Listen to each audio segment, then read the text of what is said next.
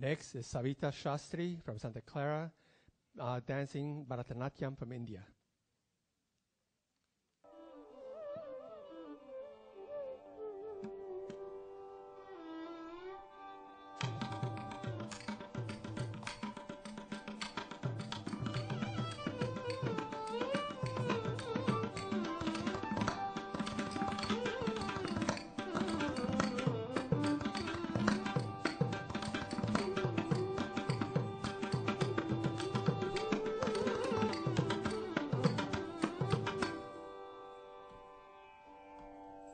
Give